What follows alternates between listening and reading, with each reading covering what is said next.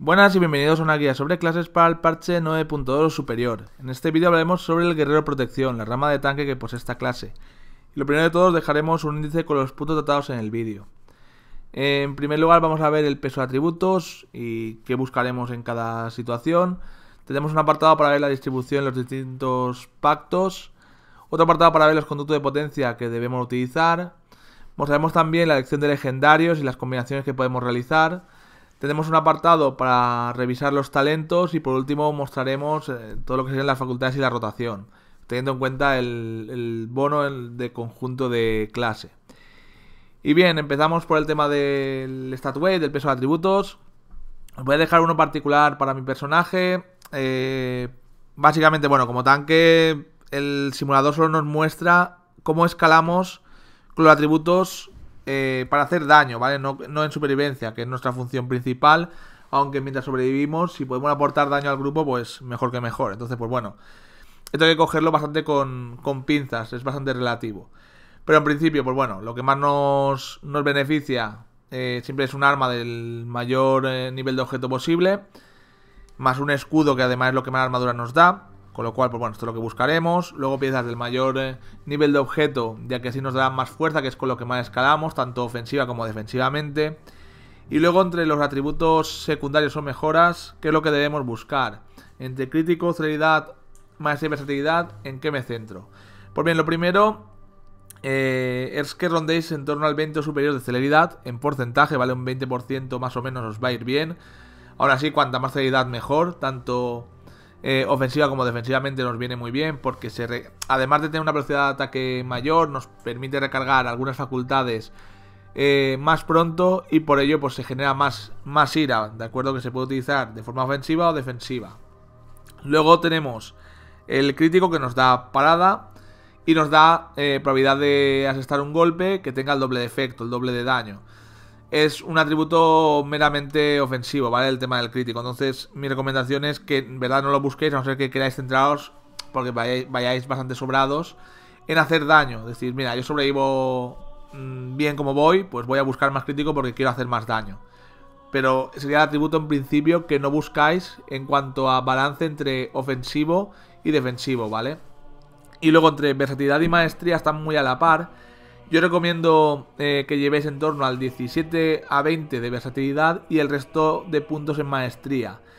Eh, lo suyo, la versatilidad nos aumenta de forma porcentual el daño, nos aumenta también la sanación y nos reduce el daño recibido. Entonces es un atributo muy interesante como tanque. Y luego la maestría nos aumenta el poder de ataque y nos aumenta la probabilidad de bloqueo y bloqueo crítico. Que está muy pero que muy bien. Ya sabéis que con el bloquear con escudo, el bloqueo crítico eh, va a poder eh, mitigar al 66% del daño de los ataques automáticos. Así que para poder eh, protegernos del daño físico, la maestría es de lo, de lo mejor. ¿De acuerdo? Entonces, pues ese sería el punto. Entonces, la maestría tiene algo más de peso para daño físico y la versatilidad para daño mágico. Bien, visto esto y dejado claro que pues más o menos 20 de celeridad y el resto lo buscar entre maestría y versatilidad, un poco así de equilibrio, teniendo en cuenta pues que rondéis lo que se ha comentado de en torno al 20 de versatilidad está bien y en maestría pues va a ser más de un 40-50% en, en cifra. Pasamos entonces eh, a ver lo que sería la distribución de los distintos pactos.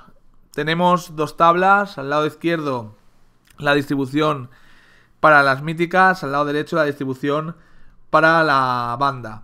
Eh, como estáis viendo, pues bueno, de momento lo que más está jugando es Kiriano. Esto tiene en cuenta la cantidad de, logs, de registros de combate eh, subidos a Warcraft Logs desde esta página de estadísticas. Y muchos están de antes de poder utilizar el doble legendario. Donde Kirian estaba un poco por encima en términos generales. Con el doble legendario, lo que está imponiendo ahora eh, es Necroseñor, que nos da tanto un montón de supervivencia como daño. El daño que más obtenemos es para combate de un objetivo. En, daño de área sigue estando mejor el Kiriano o incluso Silfide. Pero bueno, ese sería el tema. Se puede jugar todo eh, estando un poco bastante un poco más por detrás, ¿vale? De los otros tres, eh, que sería como la opción peor de las de las cuatro lecciones. Yo mis recomendaciones como tanque es que juegue Necroseñor, porque además la combinación con los legendarios que ahora veremos eh, es muy interesante y nos permite mantener el beneficio del estandarte de los necroseñores todo el combate. Un tiempo activo larguísimo, cercano al 100%. Entonces, bueno, ese sería el punto, pero aún así pues se puede jugar de los otros. Eh, bien, visto, visto el tema de pacto, eh, conducto de potencia, ¿cuál utilizamos? Pues utilizan básicamente fragmento de armadura adaptable, que nos permite que cuando nos sanan obtengamos fuerza extra, estadística principal. Lo tenemos un 50% del tiempo activo, como somos tanque, siempre vamos a ir eh, obteniendo este beneficio, así que nos viene muy bien. Eh, el otro conducto de potencia que siempre llevamos es el de demostración de fuerza. Después de usar revancha, tenemos el daño de atronar potenciado. Y ese daño de atronar se puede potenciar todavía más con el beneficio del bono de conjunto, con el tier, que le puede potenciar hasta un 200% más, como luego veremos. Entonces tenemos varios modificadores para hacer daño de área tremendo gracias a este conducto de potencia más el bono de tier. Y el tercer conducto de potencia es el relativo a vuestro pacto. En general, pues bueno, si recomiendo, como en este caso, Necroseñor, es el de reputación de veterano, que nos aumenta la fuerza un tanto por ciento en, del, en función del nivel del conducto. Lo suyo que con el conducto aplicado eh, es un 22% de máximo. Pues si lo tenéis 278, que es muchísima cantidad de fuerza extra mientras os dure el estandarte. Y lo cual lo vais a poder mantener, ¿vale? Gracias a, a lo de la opción que ahora veremos del doble de lo que hemos comentado. Entonces, pues una, una opción muy buena para tener daño extra de un solo objetivo y de, y de área, además de supervivencia bastante potente. Bien, pues visto el tema de los conductos, Mm, demos los legendarios, las combinaciones. Y bueno, os dejo los cuatro que están jugando. En verdad, uno siempre se juega, que es el de unidad, que es. Hay que llevarlo sí o también. Unidad, pues nos da el beneficio del pacto escogido, del legendario del pacto escogido. Eh, voy a comentar como si fuera Necroseñor, ¿vale? Que es la idea. Entonces, como Necroseñor, ¿qué es lo que nos va a beneficiar? Pues nos permite eh, tener gloria, que potencia todavía más nuestro estandarte del conquistador, de los necroseñores, en lugar de potenciarnos nosotros y dos aliados, pues se potencia hasta un tercero. Y adicionalmente, al consumir eh, puntos de ira, se prolonga la duración de ese estandarte. Con lo cual, combinado con otro legendario que ahora comento, eh, se puede mantener todo el combate eh, el beneficio del estandarte de conquistador, obteniendo el beneficio del conducto de potencia de reputación de, veterano y obteniendo además la maestría, los 400 puntos de maestría que nos otorga a nosotros durante la duración de este, de este beneficio. Entonces bien, pues bueno, unidad, siempre lo llevamos y luego... En general, yo recomiendo, yo recomiendo represalias para poder prolongar, incluso en banda, ¿vale? En banda también se está jugando ahora mucho represalias yendo de Necroseñor por esto mismo. Que con este legendario nos obligan, es un poco incómodo, pero nos obligan a ir lanzando cargas y el intervenir siempre que esté disponible. ¿Para qué? Pues porque nos da 20 puntos de ira que podremos utilizar para prolongar ese estandarte y para eh, términos ofensivos o defensivos. Nos da una carga de la mitad de duración del bloquear con escudo, nos da creo que son 3 segundos. Y nos da un, un beneficio del de, eh, uso de revancha como si hubiéramos parado o bloqueado un ataque. O sea, con más daño y sin coste. O sea que está muy, pero que muy bien este represalias. Y al utilizar esa revancha, pues luego se potenciará el no tronar, etc. Entonces, pues bueno, básicamente legendario que yo recomiendo en casi todo. En mítica siempre, siempre represalias con unidad. Eh, en banda depende un poquito. Luego, a ver, bueno, esto de siempre. Eh, tenemos otros dos, ¿vale? Que os puedo recomendar. El del muro, que es la opción más estática, que nos permite ir cargando eh, el muro de escudo este está bastante bien, pero es más que nada defensivo y es bastante pasivo. Con este legendario no podréis mantener tanto el, el estándar de los conquistadores de los, de los necroseñores. Eh, entonces, pues bueno, ahí se pierde un poco de la mitigación y el daño que aporta mantener eh, el estandarte del conquistador. Y el de eh, voluntad inquebrantable pasa igual, pero ayuda también al grupo. Voluntad inquebrantable nos permite tener una carga extra del muro de escudo y cuando lo utilizamos, la mitad del beneficio que nos otorga a nosotros de reducción se lo aplicamos al grupo, con lo cual también está bastante bien. Es una opción que en algunas míticas muy concretas, donde le hace falta reducción de daño al grupo y demás, pues se puede utilizar. Pero en general, eh, lo que yo más recomiendo, ya os digo, es represalias con unidad, ¿vale? Los otros son más situacionales, más para algún caso particular. Y bien, visto esto, pasaremos a ver el tema de los talentos. Eh, talentos os dejo una, una imagen, ¿vale? Con los genéricos de combate de un solo objetivo de banda. Eh, cuando es para míticas hay cambio, que ahora os, lo mostraré. Y es por lo que vamos a ver. Hay un par de líneas que son elección vuestra, son de utilidad y se puede cambiar eh, en función de vuestro agrado. Pero la mayoría pues son bastante, bastante estáticas. Entonces, pues bueno, os mostramos tenemos por aquí. Eh, línea nivel 15 siempre llevamos devastadora.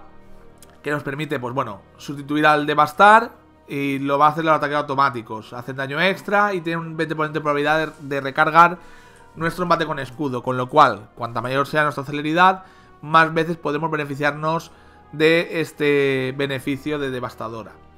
Luego el de doble carga eh, es elección vuestra, lo suyo es llevarlo, sobre todo llevando represalias como legendario, pero se puede utilizar eh, cualquiera de esta línea, es a vuestra elección. En la línea nivel 30 se está jugando con borre tumbante para uno o pocos objetivos, que nos permite tener más beneficio del grito desmoralizador, que nos genere ira y además aumente el daño que infligimos a los objetivos que están afectados por este perjuicio que aplicamos. Pero en míticas o en combates de área se utiliza Silvase Fría, revancha C, más daño, un 20 de base y un 50 más cuando no nos cuesta ira. Y este 50 más también se le aplica al beneficio del legendario de represalias. ¿De acuerdo? El de sirvase fría. Entonces, pues claro, aquí sacamos muchísimo eh, provecho a estar cargando y utilizando nuestra revancha. Y además recordad que revancha bufaba la tronar, lo, potenciaba después de usarlo por demostración de fuerza. Así que sacamos ahí una, eh, un buen ciclo de, de potenciación entre ellos, entre este uso de facultades. Nivel 35, elección vuestra. Podéis llevar la zancada para más movilidad, podéis llevar el trueno para tener más área de nuestro atronar y que reduzca más la velocidad de movimiento. Elección vuestra. Nivel 40, indomable. Tenemos salud máxima aumentada y por cada 10 de ira nos salamos un 1% de la salud. Por cada 10 de ira que consumimos. Como no paramos de consumir ira sin parar jugando como necroseñor, pues es una muy muy buena opción, ¿de acuerdo? Eh, luego en el fragor de la batalla la opción de combate de un solo objetivo. Nos, nos da celeridad 2% aumentada por cada aliado o enemigo que esté cerca nuestro, hasta un máximo de un 10% de, celeridad extra. Pero en combates de, de área se está jugando sobre todo con Devastador, que nos permite eh, lanzar pues el Devastador a una ubicación, hacer daño físico y además generamos 10 puntos de ira cada vez que hacemos daño con esto. Como está eh, durante casi 10 segundos, pues eh, generamos casi la ira por completo. Y esto pues más prolongación del estandarte de los necroseñores tratarte del conquistador. Entonces, pues bueno, para míticas devastador, para banda fragor de la batalla. Y eh, bueno, esto es también relativo a si la mítica tiene muchos objetivos o pocos, ¿vale? El fragor de la batalla se puede jugar, por ejemplo, en, en teatro o en algunas situaciones en solea se puede utilizar, ya que tenemos los aliados cerca, no nos beneficiamos tanto de devastador, ¿vale? Eso tenerlo también en cuenta. Y la línea de nivel 50 se puede jugar casi cualquier talento. Lo más habitual es o control de inquina o graves repercusiones. Pero se puede jugar incluso con reforzar. Eh, este del menos habitual se juega más cuando no lleváis represalias, ¿vale? El de reforzar. Si lleváis el de voluntad inquebrantable eh, y demás, pues bueno, se puede jugar con esto. Pero lo habitual, pues os digo, control de inquina. Por cada 10 de ira que gastamos, el tiempo de avatar y del muro de escudo se reducen un segundo. Eh, recordemos que el avatar, con el bono de tier, como luego veremos, además de darnos daño extra, también reduce el daño que recibimos. Así que es, vamos, casi un más, casi un debemos llevar el talento.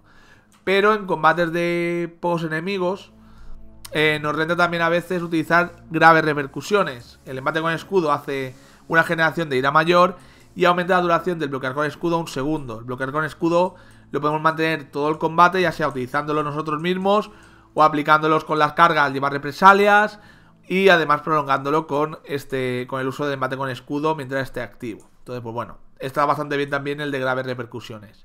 Yo soy más partidario de siempre llevar control de inquina Y luego, pues eso, en míticas, sírvase fría y devastador, ¿vale? Y para banda y demás, pues voz retumbante y fragor de la batalla. Bien visto esto, vemos un momento el, bono de conjunto. Eh, lo que os he comentado, tenéis ahí el bono de 2. Al consumir 30 puntos de ira, ganamos una acumulación de enojo. Y cuando llegamos a las 8 acumulaciones, transforma en arrebato, que hace que nuestro siguiente embate o atronar sean un 200% más efectivos. Y además me otorgan ignorar dolor. O sea que está ofensiva y defensivamente bastante bien este bonificador de conjunto. Entonces tenemos más daño y más supervivencia. Cada 240 de ira utilizado tenemos este beneficio. Luego tenemos Avatar con el bono de 4, ¿vale? Avatar aumenta un 10% el daño extra, en lugar de, ser un 20 es un 30. La bonificación de daño que nos proporciona. Y mientras esté activo tenemos un 10% menos de daño recibido. O sea que es también una mitigación de daño. Y además Avatar nos da una carga de arrebato al instante, que cuando la consumamos nos dará ignorar dolor, además de aplicar eh, el daño adicional al atronar o al embate. O sea que nos viene muy bien. Eh, bien, visto el tema del bono, que hay que jugar un poco con cabeza, ¿vale? Si llego a las 8 acumulaciones y gano arrebato, pues me espero un segundo, utilizo el arrebato eh, que tengo activo y luego lanzo el avatar para tener otro arrebato de forma instantánea. Y gano además dos veces ignorar dolor de forma simultánea. Una, o sea, se acumula, ¿vale? Entonces, bien, eh, comentado esto. Facultades, tenemos muy pocas. El tema de las cargas, que hay que jugar con ellas. De normal, no es algo ofensivo, pero al llevar represalias, por si que es necesario comentarlo, pues, como veis, pues me da el bloquear con escudo, me da ira, etcétera, ¿vale? Entonces, por el tema de las cargas, hay que ir utilizándolo. Siempre están disponibles. Luego tenemos el intervenir, que lo mismo, es algo para parar ataques a un jugador eh, aliado para pararle ataques cuerpo a cuerpo que vaya a recibir. Lo suyo, pues igual, al llevar el, legendario de represalia hay que ir lanzando siempre que esté disponible, interviniendo a alguien. Y lo suyo es que lo tengáis por eh, un target igual a mouse over para poderlo lanzar sin tener que estar clicando a la persona, ¿vale? Luego tenemos como CDs ofensivos el avatar, que además lo que hemos dicho también es un CD de mitigación de daño con el bono de conjunto de la clase. Nos aumenta el daño, nos da ira y además pues bueno, nos quita todo tipo de enraizamiento y frenados. Tenemos el grito desmoralizador cada 45 segundos, es una reducción de un 25% del daño y además bueno, nos da ira al llevar el talento de voz si no, no lo hace. Tenemos la última carga, es un aumento de salud del 30%. Y además nos sana, también esa cantidad durante 15 segundos. Tenemos el berrido de convocación, que esto es de grupo, pero lo podemos lanzar incluso para nosotros mismos, que es un aumento de salud también temporal para todo el grupo o banda. Tenemos el muro de escudo, con un CD de normal de 4 minutos, pero se puede reducir por un conducto de potencia. Reduce un 50% el daño que recibimos durante 8 segundos. Y luego tenemos pues el estandarte de conquistador o la lanza de bastión, una réplica, depende del pacto en el que estamos, ¿vale? Estos son todo tema de eh, facultades con tiempo de recarga elevado. El estandarte, pues bueno, que es lo que os quiero comentar, pues nos da los cuadritos de maestría, que es más velocidad, eh, o sea, más... Eh, mm, lo que sería bloqueo, más probabilidad de bloqueo. Además, más poder de ataque, que también aumenta esto. Y bueno, nos da un 30% de velocidad de movimiento aumentada mientras esté activo. Así que bueno, un beneficio extra. Y generamos 4 puntos de ira por segundo en la especialización de protección. Depende de la, rama, nos da una cantidad de, ira u otra. Entonces estamos generando ira de forma pasiva, que vamos a poder usar en el ignorar dolor, en bloquear con escudo o en ejecutar. O sea, recordad que tenemos tres formas de consumir, lo que ahora veremos. Luego además, recordad, tenemos el moldear carne como necroseñor que con Melee hay que utilizarlo para tener un beneficio de un disolvente. Podemos tener varios disolventes, el mínimo es el de maestría, que lo tenemos de nosotros mismos, que somos humanoide. Luego además al pasar por no muertos también nos sanamos, por gigante nos da 3% de daño físico aumentado, entonces depende por dónde vamos. Eh, por tener el moldear carne en tiempo de recarga, pues nos va a ir potenciando con varios disolventes. Eh, y ahora pasamos a lo que serían las facultades eh, básicas, ¿vale? Primero tenemos el devastar, que lo hemos cambiado por devastadora. Así que esto lo, lo dejamos como suprimido al haber escogido el talento de devastadora. Va, a hacerlo automático. Si no sería la facultad de relleno cuando no tenemos nada para utilizar, lo iríamos lanzando sin parar, pero se va a lanzar de forma automática. Tenemos embate con escudo, eh, una facultad que se recarga antes por celeridad, que hace mucho daño físico, que nos da mucha ira y además eh, tiene 30% de probabilidad de reiniciarse, ¿vale? Cuando usamos el devastar, atronar, revancha o ejecutar. Hay un 30% de probabilidad de que se recargue el embate con escudo. Entonces, pues bueno, ahí tenemos la, opción de ir spameándolo para generar ira y hacer mucho daño de un objetivo. Si tenemos el embate en tiempo de recarga, lanzamos a tronar. A tronar hace daño físico eh, elevado a varios enemigos que tengamos cerca, genera 5 puntos de ira y además ralentiza.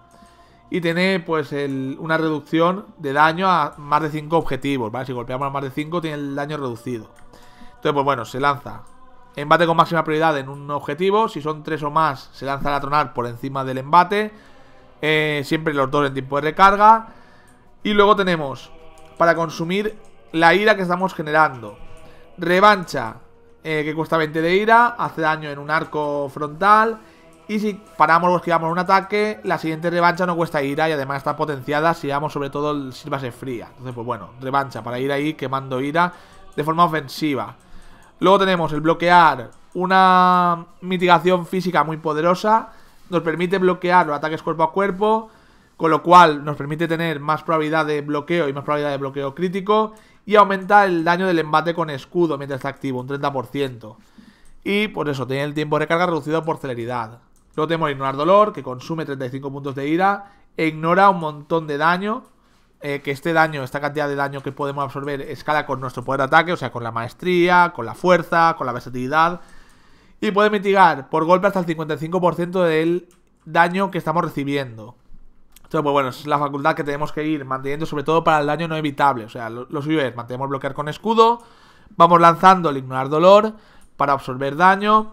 Y luego, si estamos bien, si vemos que no tenemos problemas eh, y está al 20% de enemigos, se puede consumir ira también en el ejecutar. Ejecutar es una facultad de consumo de ira que hace muchísimo daño físico y que nos puede... Eh, recargar el embate con escudo. Entonces, en las fases de ejecutar, si estamos este, sin la amenaza del objetivo, o sea, estamos off-tanqueando, que le suele decir, o si vemos que vamos sobrados en el tema de supervivencia, pues podemos quemar ira en ejecutar, ¿vale? Si no, lo obviáis, lo intentáis evitar y la utilizáis sobre todo en el bloquear con escudo y en ignorar dolor o revancha si es daño de área. Bien, entonces el tema de rotación es muy fácil, lo vamos a mostrar. Lo suyo, pues bueno, eso, mantengo mi disolvente. También tenemos una cosa que me falta comentar, el reflejo de hechizo, que ahora tiene 20, segundos de tiempo de recarga. Que permite reflejar un hechizo o reducir un 20% del daño recibido mientras está activo si no se puede reflejar hechizos. Y hay algunas facultades, incluso de, de áreas del suelo, que se pueden reflejar o que se pueden ignorar mientras el reflejo de hechizo está activo, ¿vale? Para que tengáis presente también esto. Entonces, pues bueno, rotación, pues cargáis, mantéis el estándar de conquistador y vais lanzando eh, vuestro vuestro embate, vuestro tronar, en el arrebato, pues si es single target, si es un objetivo, intentáis que sea siempre el, embate lo que esté potenciado. Veis que lo suyo, pues la revancha que está del beneficio de que no nos cueste ira, pues la utilizamos. Y poquito más. Luego, si necesito hacer daño de área, pues me centro más en usar la revancha, incluso aunque me cueste ira. Intento mantener siempre el bloquear con escudo. Eh, lanzamos siempre que podamos el, el avatar, porque también nos reduce daño y, aumenta el daño que, infligimos. Nos da también ira, etcétera. Y la rotación luego es más que nada tener en cuenta dónde o cuándo utilizar recarga de, los CDs o, dónde eh, poder, eh, por ejemplo, si os viene daño mágico, pues saber que tenemos que lanzar un reflejo de hechizo. Si nos viene daño eh, no evitable y tengo que absorberlo de alguna forma y es un daño muy poderoso, pues lanzo mi muro de escudo que me va a mitigar hasta el 50% del daño. Vale, eso es el punto a tener en cuenta, no hay, no hay mucho más misterio en todo esto. Y pues nada, eh, con esto espero que os haya quedado un poco claro el tema del guerrero de protección. Espero que os haya servido de ayuda a la guía y nos vemos en las próximas.